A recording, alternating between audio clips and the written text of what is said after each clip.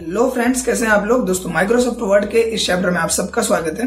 Last video में दोस्तों हमने सीखा था कि कैसे आप पिक्चर का फॉर्मेट टाइप यूज़ कर सकते हो। ऑलमोस्ट मैंने आपको सारे ऑप्शन बता दिए थे, सिवाय दो ऑप्शन के। जहाँ पे रह गया था एक रैप का ऑप्शन और एक अलाइन का ऑप्शन तो दोस्तों, आज की वीडियो में हम सीखेंगे रैप ऑप्शन के बारे में।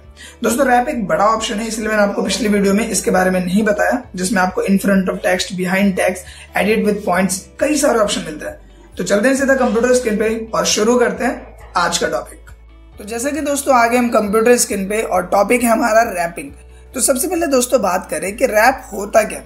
दोस्तों रैप की मदद से ये होता है कि आपका जो टेक्स्ट है और जो ऑब्जेक्ट है, यानी पिक्चर है या शेप है, जो भी है, वो आपस में कैसा रिएक्ट करेंगे?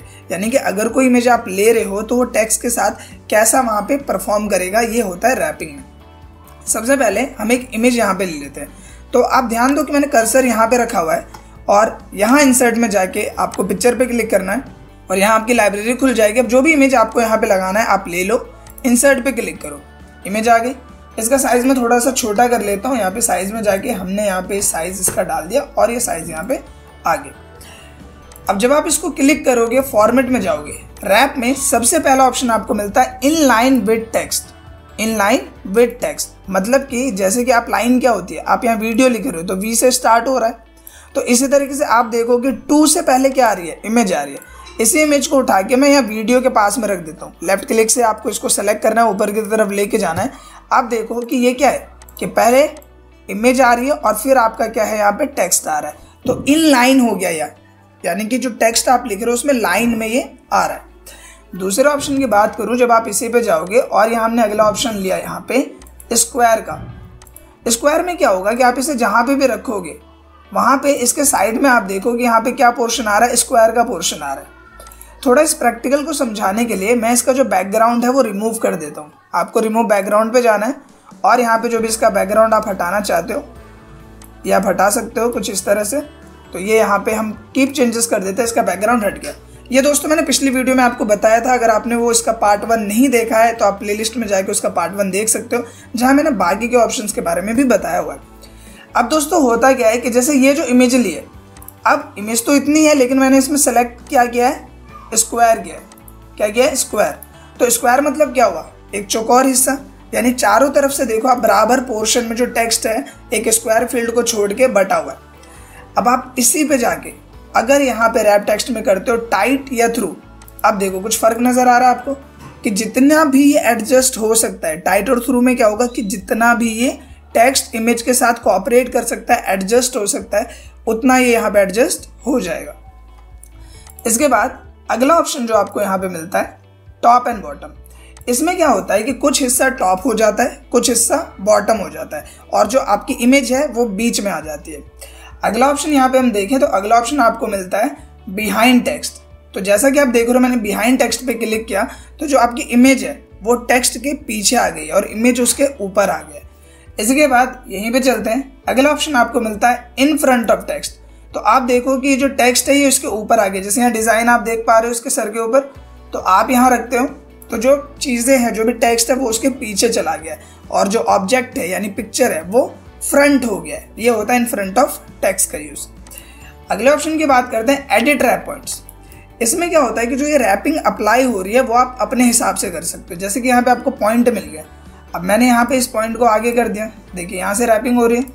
इसको लेफ़्ट क्लिक से आप सेलेक्ट कर सकते हो और अपने हिसाब से आप इसको अप्लाई कर सकते हो। देखो तो अलग टाइप से जैसे भी मुझे रैपिंग करनी है, वो मैं यहाँ पे कर पा रहा हूँ कुछ इस तरह से। ठीक है? तो आप जैसे रैपिंग करना चाहो, इसमें देख पा रहे हो आप, जैसे भी आप रैपिंग करना चाहो, वो रैप पॉइंट की मदद से आप इसमें कर सकते हो। अगला ऑप्शन दोस्तों, आपको यहाँ पे मिलता है move with text fix position on the page इसका क्या यूज़ होता है? अब आप क्या करो रैप टेक्स्ट में जाके इसका जो ये फ़ील्ड है, वो कर लो आप इन फ्रंट ऑफ़ टेक्स्ट ये किया हमने, ठीक है? ठीक है? इन फ्रंट आपने कर लिया। अब यहाँ पे अगर मैं कर देता हूँ मूव विथ टेक्स्ट क्या कर रहे हैं? मूव विथ टेक्स्ट देखो सेलेक्ट है ना साइड में। अब क्या होगा कि जब मैं यहाँ पे कर्सर रखता हूँ डॉक्यूमेंट के आगे, और मैं एंटर प्रेस करता हूँ तो क्या हो रहा है कि इमेज भी नीचे जा रही है। आप नोटिस करो इमेज नीचे जा रही है। लेकिन अगर मैं इसकी पोजीशन को फिक्स कर देता हूँ, आपने सेलेक्ट किया, यहाँ जाके इसकी जो पोजीशन है, उसको मैंने क्या कर दिया? फिक्स कर दिया।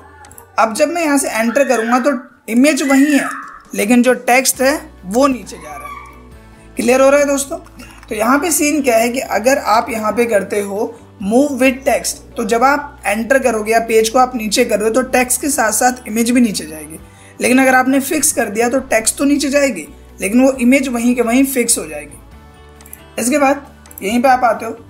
तो अगला ऑप्शन जो आपको मिलता है, वो मोर लेआउट ऑप्शन होता है। मतलब सीधी बात यह है कि यहाँ पे जो आपको ऑप्शन मिले, वो आपको शॉर्टकट में मिले, यहाँ पे आपको मैनुअल मिल जाएगा। जैसे कि आपने अभी इनलाइन विद टेक्स्ट यूज़ किया स्क्वायर यूज़ किया टाइट यूज़ किया तो आप वहाँ से भी सिलेक्ट कर सकते हो और मैनुअली यहाँ पे भी आगे सिलेक्ट कर सकते हो। इसके बाद अगला ऑप्शन जो आपको यहाँ पे मिलता है, वो मिलता है सेट एज डिफ़ॉल्ट अब सेट एज डिफ़ॉल्ट में क्या होता है दोस्तों कि जब भी कोई इमेज आप लेते हो तो इन, यहाँ पे जो आपको ये लेआउट दिख रहे हैं, जो ये ऑप्शन दिख रहे हैं रैपिंग के, इनमें से एक ऑप्शन सेलेक्ट होगा।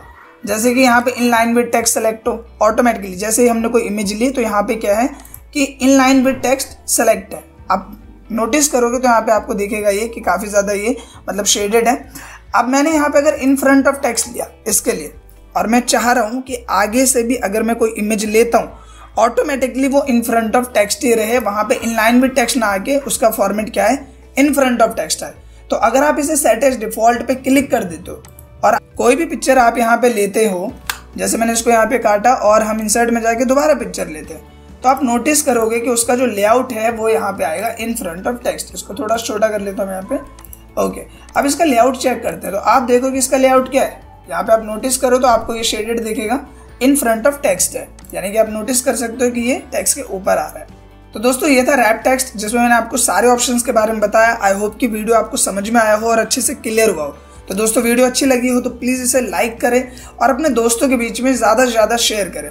और दोस्तों वीडियो आपको कैसी लगी प्लीज़ नीचे कमेंट बॉक्स में आप ज़रूर बताएँ। अच्छी लगी, बुरी लगी, समझ में आया, नहीं समझ में आया प्लीज़ कमेंट ज़रूर करें। Thank you